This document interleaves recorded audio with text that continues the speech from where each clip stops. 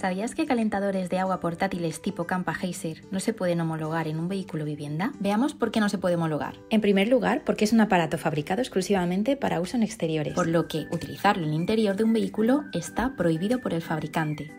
Es más, en su manual de uso nos dejan claro que la responsabilidad exclusiva es del usuario. Por lo tanto, ni el fabricante del calentador de agua ni las compañías aseguradoras se harían cargo en caso de siniestro. Y en segundo lugar, si revisamos la normativa, los calentadores a instalar deben ser obligatoriamente de tipo estanco, mientras que estos calentadores son de tipo atmosférico. Puedes consultarnos todas tus dudas. Recuerda que el asesoramiento es gratuito.